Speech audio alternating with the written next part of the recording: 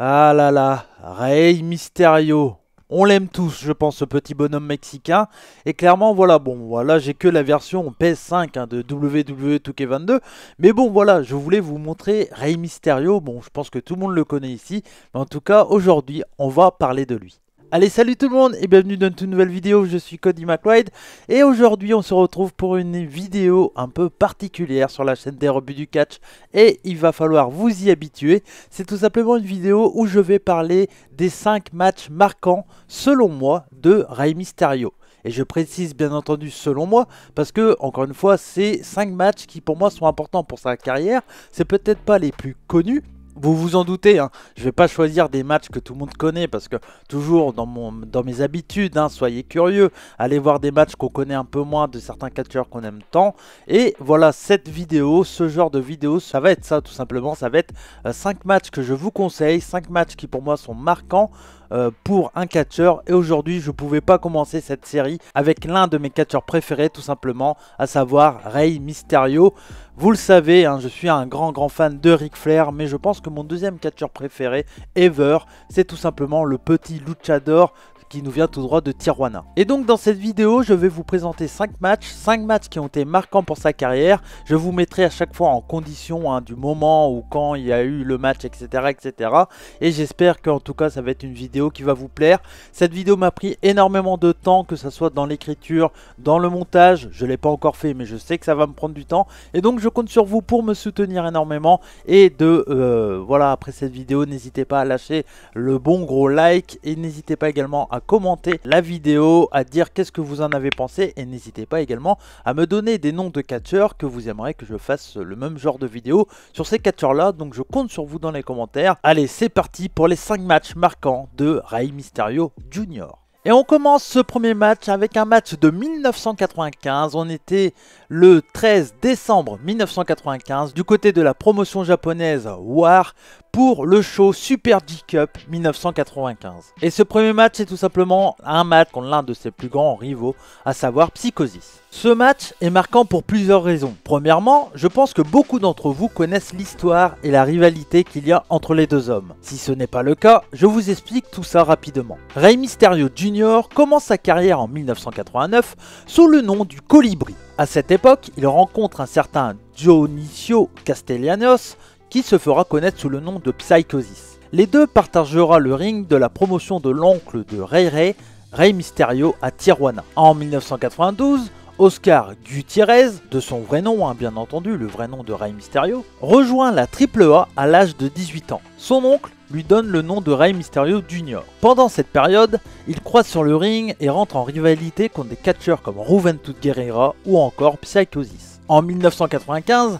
Rey Mysterio et Psychosis font parler d'eux avec une série de matchs exceptionnels du côté de ECW. Et ça, c'est clairement des matchs à voir au moins une fois dans sa vie. Hein. Si vous avez jamais vu les, Mexican Deathmatch, etc., c'est voilà, c'est du must-see. Tout est disponible sur le WWE Network. Et on connaît la suite, hein. bien entendu, les deux hommes rejoignent après, peu de temps après, WCW avec beaucoup beaucoup de succès. Mais revenons en 95 en décembre plus précisément avec la Super J-Cup 1995 de la promotion de Genichiro Tenryu, la WAR. Et si vous ne savez pas qu'est-ce que c'est la Super J-Cup, c'est tout simplement un tournoi à élimination directe qui réunit les meilleurs catcheurs cruiserweight ou junior au Japon du monde. Et dans cette liste de catcheurs fantastiques, on retrouve des gros gros noms. Des catcheurs comme Granna Niwa, Shinjiro Otani, Masaaki Mochizuki, Ultimo Dragon, Gedo, Lioners, savoir un certain Chris Jericho, Joshin Thunder Liger ou encore un certain Wild Pegasus, à savoir tout simplement Chris Benoit. Rey Mysterio et Psychosis sont également conviés au tournoi, mais pas pour y participer. Les deux hommes se retrouvent donc dans un match hors tournoi juste avant la finale qui opposait Joshin Thunder Liger à Gedo. Et l'info qui est importante, c'est que c'est le premier match des deux hommes au Japon. Et clairement, tu peux pas avoir un meilleur match, un meilleur premier match que ça au Japon quand tu catches contre celui qui est ton plus grand ami ennemi. Les deux hommes nous sortent un match intense, rempli de lucha libre pure et ultra rythmé. Un moins de 10 minutes qui se regarde parfaitement, et même actuellement.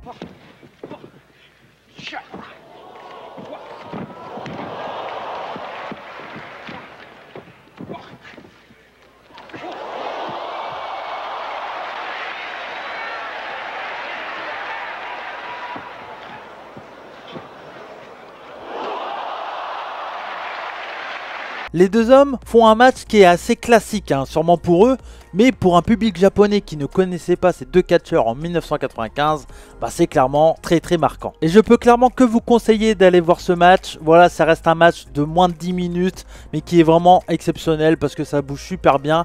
Et il faut se remettre aussi un peu à, l'époque, hein. on est en 1995, et de voir deux luchadors euh, très jeunes comme les deux, bah c'est assez, euh, voilà, c'est un truc euh, d'exceptionnel hein, pour les fans japonais. Et on peut clairement dire que les deux hommes, après ce match-là, bah ils ont commencé à un peu aussi à, faire parler d'eux au Japon. Psychosis et Rey Mysterio Jr. reviennent chez War en 1996 pour une tournée de 6-7 matchs. Psychosis ne reviendra plus jamais dans une promotion japonaise, tandis que Rey Mysterio reviendra en 2018 du côté de New Japan Pro Wrestling pour catcher en équipe avec deux légendes du catch japonais, Joshin Thunder Liger et Hiroshi Tanahashi, contre le Bullet Club Cody Rhodes, Hangman Page et Marty Skrull.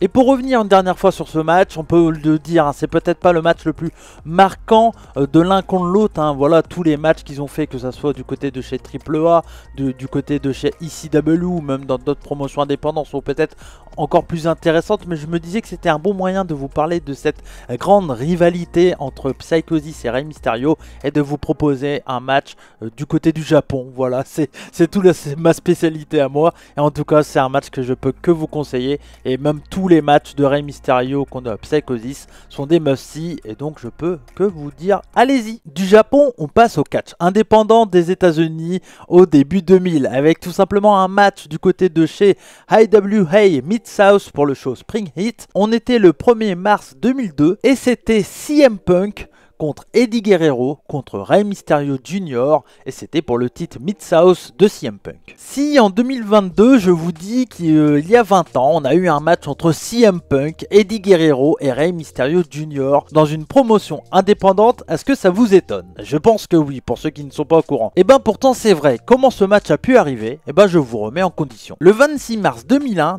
WCW ferme définitivement ses portes après le rachat de la promotion par Vince McMahon. Certains de WCW sont gardés et utilisés par WWF pour la feud de l'invasion de WCW et ECW, mais beaucoup de stars de l'époque ne font pas ce chemin. Les stars de la NWO, Ric Flair, Sting, Goldberg ou encore mon luchador favori, Rey Mysterio, ne vont pas chez WWF. Si vous voulez plus d'informations sur cette période, je vous invite bien entendu à aller écouter, même si je pense que beaucoup d'entre vous sont déjà allés le faire, à aller écouter le podcast 3CFM Invasion de Sturi, qui est en compagnie de Flo et Rabi, qui chronique cette période où euh, il y a eu le rachat de WCW par WWF. Alors voilà en ce qui concerne Rey Mysterio et de pourquoi on pouvait le retrouver sur un choix dépendant à cette période, mais là vous allez me dire oui mais d'accord, mais Eddie Guerrero, comment ça se fait? Eh ben je vous explique. En 1999, il quitte WCW en compagnie de Perry Saturn, Chris Benoit et Dean Malenko pour rejoindre WWF et créer les Radicals. Après une blessure, il revient sur les rings de WWF en 2001 en tant que Latino Hit et il est accompagné de China. On connaît tous, hein, bien sûr, cette période de euh, Eddie Guerrero qu'on aime bien. Hein. C'était une période très plaisante. Et dans cette période avec China, il remporte le titre intercontinental et le titre européen. Malheureusement, ces démons reviennent et en mai 2001, Eddie est devenu accro aux médicaments. Bon, vous m'avez compris, hein, voilà, vous avez compris ce que je veux dire. WWF le met donc en dehors de toute storyline pour qu'il ait le temps de se soigner. En novembre de cette même année, il se fait arrêter au volant d'une voiture avec un taux élevé d'alcool dans le sang. Et donc, malheureusement, il se fait virer par WWF quelques jours plus tard. En février 2002, Eddie commence en indépendant du côté de Ring of Honor pour le tout premier show de la promotion, dans un match contre Super Crazy. Puis continue en travaillant dans quelques promotions indépendantes. CM Punk en 2002 est un tout jeune catcheur de seulement 3 ans d'expérience. Mais il est déjà la tête d'affiche de la promotion qu'il a vu débuter il y a quelques années auparavant, à savoir Mid-South. CM Punk délivre beaucoup de classiques matchs contre des catcheurs très connus actuellement comme Chris ou encore Colt Cabana et bien d'autres. On se retrouve donc en mars 2002 où IWA Mid-South a la possibilité de faire une affiche exceptionnelle. Et même exceptionnelle déjà en 2002, hein. d'avoir Rey Mysterio et Eddie Guerrero sur un même show indépendant, c'est exceptionnel. Mais vu que IWA Mid-South avait un show sur deux jours, c'était donc un très bon moyen de mettre encore plus over ta jeune pépite contre des catcheurs connus et expérimentés. Comme on s'en doute avec les trois catcheurs, le match est très très bon. Le mélange de style est présent, Ray porte ses moves de lucha libre, CM Punk apporte son côté indépendant avec des moves exceptionnels, et Eddie a parfaitement la place du heel avec toute sa malice qu'on connaît.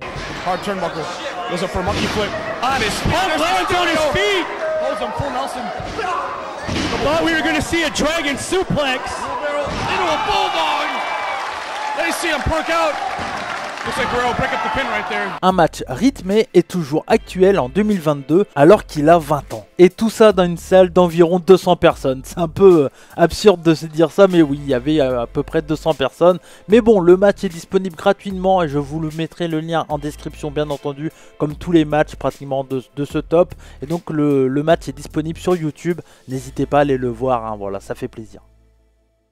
Alors oui, c'est peut-être un match peu important pour la carrière de Rey Mysterio, ça je vous l'accorde. Mais avec CM Punk et Eddie Guerrero, c'est un peu un match qui traverse le temps. Du passé au futur de la carrière de Rey. Parce qu'on le sait, hein, voilà, Rey Mysterio a eu une grosse rivalité depuis son, début de carrière contre Eddie Guerrero. On connaît toute son amitié, tout ça. Pas trop besoin de, le redire. Et en plus de ça, bah voilà, on sait également qu'il y a eu quand même une, une, bonne rivalité du côté de WWE un peu plus tard après entre CM Punk et Rey Mysterio. C'est pour ça que je trouve ce match assez marquant parce que c'est clairement un, peu un, bon mélange de toute la carrière de Rey Mysterio et c'est pour ça que je voulais vous le présenter. Et pour moi, le seul défaut de ce combat, bah, c'est de voir Rey Mysterio sans son masque. Moi qui est l'amoureux de Rey Mysterio, et eh bah oui, quand je le vois sans son masque, bah ça me fait bizarre. Mais bon, euh, voilà, c'est un petit détail. Et pour ceux qui se souviennent pas, il avait perdu son masque contre Kevin Nash du côté de chez WCW et il le remettra que à son arrivée chez WWE en juillet 2002.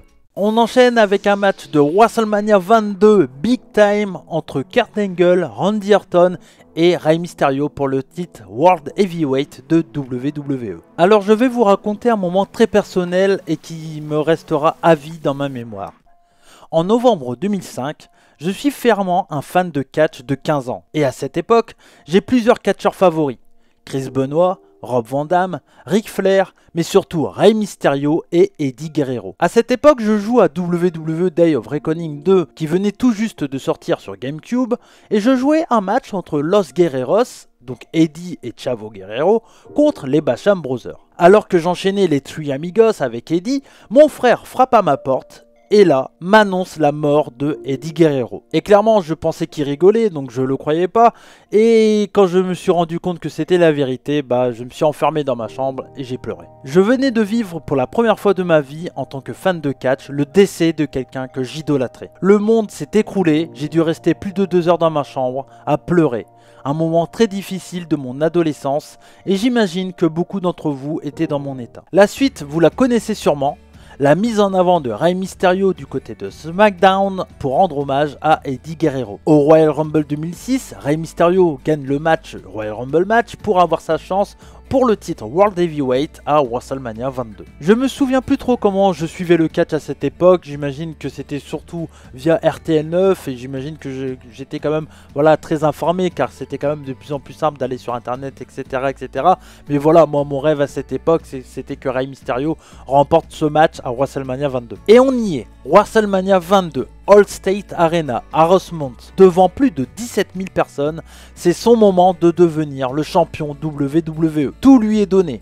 Une entrée qui fait partie de mes souvenirs préférés avec le groupe POD qui joue sa musique d'entrée. Face à lui, le Legend Killer Randy Orton et le médaillé olympique Ce match est peut-être pas le meilleur, je vous l'accorde, mais encore une fois, c'est mes matchs marquants à moi. Je sais pas pourquoi, mais voilà, ça fait partie de mes moments favoris de la carrière de Rey Mysterio. En 2006, bah j'ai 16 ans, j'ai acheté le DVD dans une presse, un tabac presse, etc. Et je sais plus si j'étais spoil au moment où j'ai regardé pour la première fois ce show. Ça fait clairement partie des moments où j'ai pleuré encore une fois devant la victoire de Rey Mysterio.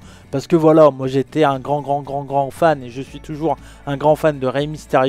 Et j'étais également un grand fan de Eddie. donc bah voilà, j'étais content pour Rey Mysterio, en même temps triste du décès d'Eddie Guerrero. Un grand moment tout simplement. Un moment que j'oublierai jamais sans aucun doute.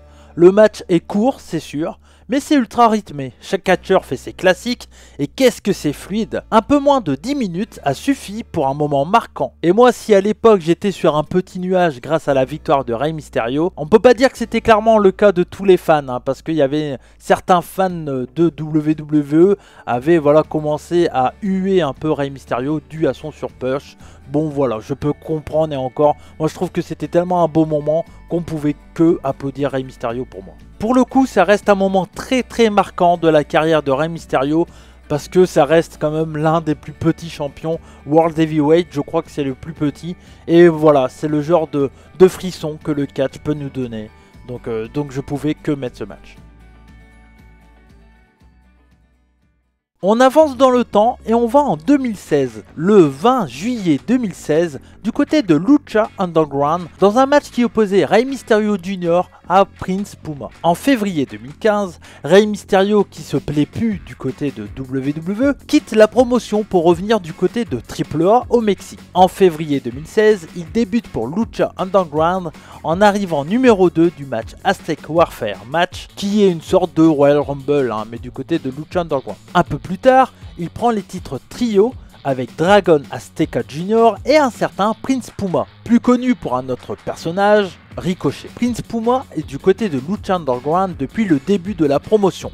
Il est construit comme la nouvelle pépite de la Lucha Libre et comme le gros babyface de la promotion. Alors quand on a celui qu'on considère comme le futur de la lucha libre et une légende de cette même discipline dans la même promotion, eh ben à votre avis qu'est-ce qu'on fait? Eh ben tout simplement un match. Et donc lors de l'épisode 26 de la saison 2, la promotion nous fait plaisir avec ce face-à-face totalement inédit. En tout cas diffusé sur un show TV, car les deux hommes avaient déjà travaillé ensemble pour la première fois en octobre 2015 lors d'un show de la promotion canadienne Destiny dans un three-way match avec PG Black, connu également sous le nom de Justin Gabriel du côté de chez WWE. La confrontation est parfaite entre le jeune luchador qui en veut et le luchador expérimenté, un vrai dream match. Le match est construit comme tous les classiques de Rey Mysterio contre des catcheurs comme Chris Jericho, Eddie ou Ultimo Dragon, à savoir qu'après un début de match dominé par Rey Mysterio, la vitesse et la jeunesse de Prince Puma lui permet d'avoir l'avantage. Ça a été toujours pratiquement le cas, hein. toujours eu cette construction où Rey Mysterio domine le début de combat puis après se fait longuement dominer. Vous regardez à peu près tous les matchs de Rey Mysterio, c'est cette construction. Sauf j'en ai un en mémoire et je vais vous en parler un peu plus tard. Après le début de match, dominé par Rey Mysterio, la vitesse et la jeunesse de Puma lui permet d'avoir l'avantage. Après, c'est de la magie pure. Les moves s'enchaînent, l'aisance de Ricochet donne de l'explosivité que le catch de Rey Mysterio avait besoin à cette époque. Un match à regarder et à connaître, un vrai classique.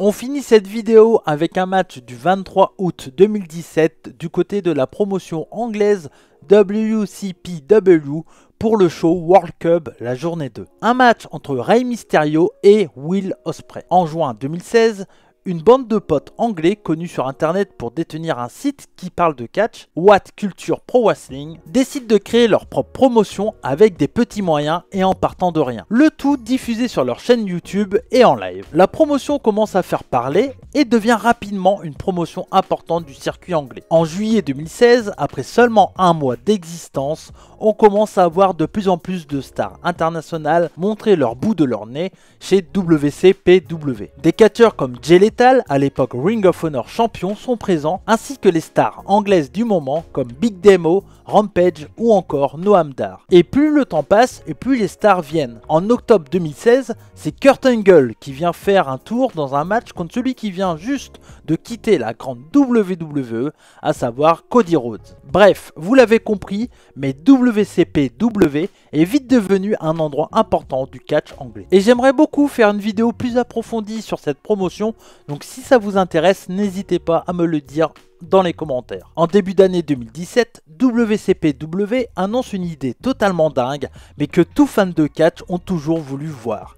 À savoir, une Coupe du Monde du catch. 64 catcheurs, venant de partout dans le monde pour savoir qui sera le plus grand catcheur de la planète. Chaque catcheur se retrouve dans un tournoi à élimination directe en fonction de leur pays. On y verra donc des qualifications regroupant des catcheurs d'Angleterre, d'Écosse, du Mexique, du Canada, d'Allemagne, du Japon, des États-Unis et du reste du monde. On y a même un représentant français en la personne de Tom Laroufa, qui se fera malheureusement éliminer au premier tour par John Simmons, le catcheur hollandais. Et également, j'aimerais bien parler un peu plus aussi de ce tournoi qui était quand même assez exceptionnel. Donc encore une fois, si ça vous dit, je compte sur vous pour interagir avec moi dans les commentaires. Si vous voulez avoir une vidéo voilà, qui se concentre plus sur cette grande Coupe du Monde de 2017. Mais pour vous donner envie sur ce tournoi unique, voilà quelques catcheurs qu'on pouvait y retrouver dans ce tournoi. Bobby Fish, Drew Galloway, savoir Drew McIntyre, Ray Phoenix, Hiromu Takahashi, Mike Bailey, Koshida et bien plus. Will Ospreay, star montante en 2017, qui avait fait le buzz du côté de New Japan Pro Wrestling contre Ricochet lors du Best of Super Junior en 2016 et qui était en feud contre un certain Kushida, passe le tour de qualification pour les catcheurs anglais en gagnant contre Martin Kirby et Rampage. Et donc dans le premier tour du tournoi principal, il se retrouve face à face à une légende. C'est tout simplement Rey Mysterio, qui lui s'était qualifié dans le tournoi mexicain contre Alberto El Patron et Juventud Guerrera. On arrive donc au match que Will Ospreay a dû y rêver plus d'une fois, j'imagine. Même pas comment il devait être quand il a su qu'il allait partager le ring avec sûrement l'une de ses stars de son enfance. Après un début de match technique et rapide comme les deux catcheurs ont le secret, Guerrera, both of them obviously world-class competitors in their own right. Well, how ironic. Mysterio had history with El Patron and Guerrera. But Will Ospreay could make history tonight, and look at this. Ospreay and Mysterio already lighting it up. It's like a powder keg, it's just waiting to explode. Already looking like it could do as the handstand sends Ospreay back to his feet. Oh, so hard. Mysterio takes down Ospreay. No, he doesn't. Again, the handstand. This is reminiscent of what Mysterio experienced against Ricochet yesterday at Stacked. On a un très bon match rythmé. Rey Mysterio a une position particulière dans ce match, car pour une fois, et eh ben c'est pas lui l'underdog. Et voilà, je vous en ai parlé tout à l'heure. Dans ce match, il fait tout pour mettre Will Ospreay over et clairement, il le fait parfaitement. Le match est sans aucun doute à voir, que ça soit pour le passage de témoin que pour la qualité du combat. Il y a un moment très très très très, euh, je sais pas, qui donne plein de frissons clairement. À la fin de ce combat, je vous laisserai aller voir. Mais voilà, il y a un, passage de témoin qui, qui, est vraiment exceptionnel dans ce combat-là. Et c'est l'une des raisons que je le mets dans ce classement. Et en plus de ça, tous les shows de WCPW étaient diffusés gratuitement sur YouTube. Donc vous pouvez le retrouver facilement et je vous mettrai le lien dans la description. Et donc voilà pour les 5 matchs marquants de la carrière de Rey Mysterio. Vous l'avez compris, hein, voilà, j'ai mis des matchs un peu particuliers, mais vous me connaissez sûrement si euh, vous suivez la chaîne depuis quelques temps maintenant, ou si c'est la première fois que vous venez sur cette chaîne YouTube, bah déjà bienvenue à vous. N'hésitez pas à vous abonner, à liker, à commenter, partager, je compte sur vous. Et voilà, en fait, moi sur cette chaîne, j'aime partager ma passion et essayer de vous faire des trucs que vous n'avez pas trop l'habitude de voir. Comme je le dis tout le temps, c'est bien d'être curieux et j'espère que vous serez curieux et que vous allez aller un peu voir les matchs que je vous ai conseillés dans cette vidéo. En tout cas, merci à vous pour votre soutien. N'hésitez pas à, comme je l'ai dit tout à l'heure, partager, liker, je compte sur vous. C'était Cody McCloy des rebuts du catch, comme on dit chez nous, Banzai. Et surtout, n'oubliez pas, soyez curieux. Ciao